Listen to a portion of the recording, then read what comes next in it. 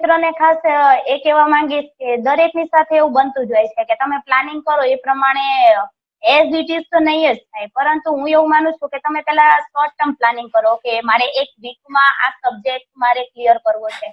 અને એવી રીતે તમે થોડું પ્લાનિંગ કરશો કાં તો પછી ડેલી ઉઠીને પ્લાનિંગ કરો કે મારે આજે આજે આ દિવસમાં મારે આટલો ટોપિક તો મારે કવર કરવા જ છે અને આટલું રીડિંગ કરવું છે. અને એવી રીતે તમે શોર્ટ ટર્મ પ્લાનિંગ કરશો, પછી એના ઉપરથી તમે લોંગ ટર્મ પ્લાનિંગ કરશો, તો વાંધો નહીં આવે. અને કોઈ પણ તમે શેડ્યુલ બનાવો, તો એમાં થોડો થોડુંક તમે પ્લાનિંગ કરો, તો તમને ઇઝીલી તમે એમાં ઢળાઈ શકો છો, કોઈ પણ શેડ્યુલમાં એકદમ તમે એમ કહેશો કે મારે ટ્વેલ્વ અવર્સ રીડિંગ કરવું છે, તો એ શક્ય નથી. પરંતુ ધીમે ધીમે તમારે તમારા સ્ટડીના અવર્સ વધારવા પડે. ધીમે ધીમે થોડી બ્રેક લેવી પડે ટુ ટુ થ્રી અવર્સ થાય એટલે તમારે બ્રેક લેવી પડે. એવરી ફિફ્ટીન ડેઝ થાય તમારી પ્રિપેરેશન એટલે તમારે થોડુંક બહાર જવું પડે, થોડુંક મગજને ફ્રેશ કરવું પડે. ડેલી તમે કન્ટિન્યુઅસ ટ્વેલ્વ અવર્સ રીડિંગ નથી કરી શકતા. પરંતુ તમે ધીમે ધીમે જો શરૂઆત કરો કે થોડા થોડા કલાક ઇન્ક્રીઝ કરશો, તો તમે ચોક્કસ તમારું લેવલ એટલે સુધી આવી જ જશે. હું ખુદ તો હું ટ્વેલ્વ અવર્સ હોસ્ટેલમાં મારે રીડ કરતી હતી. અને મારું ફિક્સ શેડ્યુલ હોય કે મારે આટલા વાગે જમવા માટે મારે આટલો જ ટાઈમ આપવાનો છે મારે ક્લાસીસથી આવીને આટલા ટાઈમમાં મારે ફ્રેશ થવાનું છે, આટલા ટાઈમ મારે ન્યૂઝપેપર રીડ કરવાનું છે, આટલા ટાઈમ મારે આ સબ્જેક્ટ રીડ કરવાનો છે.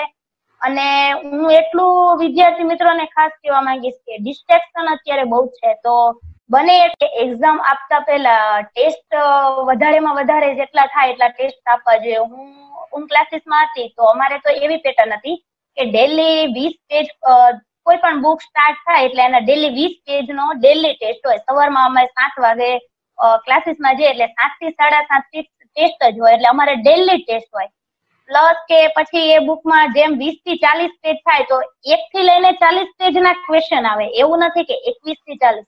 એવી રીતે અમારી ટેસ્ટની પહેલેથી જ અમારી આદત હતી. અને સરપ્રાઇઝ ટેસ્ટ હોય વન ફિફ્ટી માર્ક્સ નો હોય હંડ્રેડ માર્ક્સ નો હોય, એવા સરપ્રાઇઝ ટેસ્ટ હોય કે જે અમને ક્લાસીસમાં ભણાવ્યું હોય તો એમાંથી હોય કે કોઈ પણ પ્રીવિયસ યર્સના ક્વેશ્ચન્સ પેપર હોય, એવી રીતે. મને ટેસ્ટ નો તો ખૂબ જ અમારે ત્યાં હતું તો મને એનો તો બહુ લાભ થયો છે અને હું માનું છું.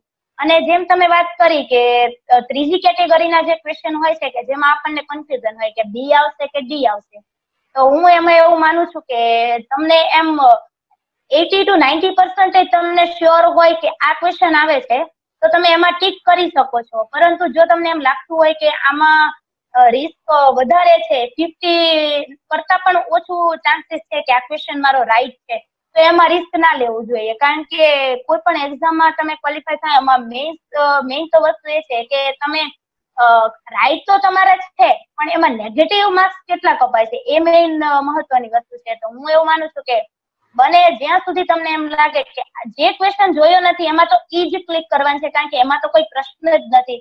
કે આપણને ક્વેશ્ચન અત્યાર સુધી આપણે વાંચ્યો જ નથી, એટલે એમાં તો ઈ જ ક્લિક કરવો પડશે.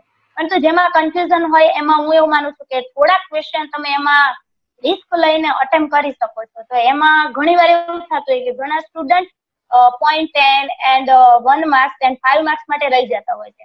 એમાં ઘણી વાર એવું પણ થતું હોય કે તમે થોડાક ક્વેશ્ચનમાં જો રિસ્ક લીધું હોય તો તમે પાસ થઈ શકો એટલે હું એવું માનું છું કે થોડુંક તમારે રિસ્ક થોડાક ક્વેશ્ચનમાં લેવું જોઈએ. બધા ક્વેશ્ચનમાં પરંતુ થોડા ક્વેશ્ચનમાં તમે રિસ્ક લો તો સારું છે. હું અત્યાર સુધી એવી રીતે બધી એક્ઝામ એમસીક્યુમાં એવી રીતે જ કરતી આવી છું કે થોડા ક્વેશ્ચનમાં હું રિસ્ક લઉં છું.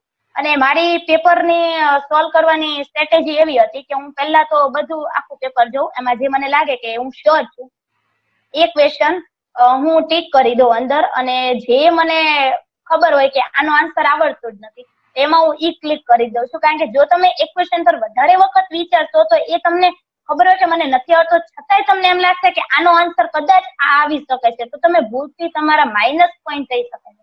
એટલે જે તમને ફર્સ્ટ ટાઈમે જોતા એવું લાગે કે આ ક્વેશ્ચન મેં નથી જોયો, તેમાં ફરજિયાત ઈ જ ક્લિક કરવો. હું એવું માનું છું. કારણ કે સેકન્ડ ટાઈમ તમે જોશો તો તમને એમ લાગશે કે કદાચ આ ક્વેશ્ચન મારો સાચો થઈ શકે. પરંતુ એવું હોતું નથી. એ ખોટો જ પડે આપણો. એટલા માટે જે કન્ફ્યુઝન વાળો હોય એમાં થોડાકમાં તમે રિસ્ક લઈ શકો એટલે હું એવું માનું છું કે આ રીતે થોડું તમે સ્ટ્રેટેજી રાખો તો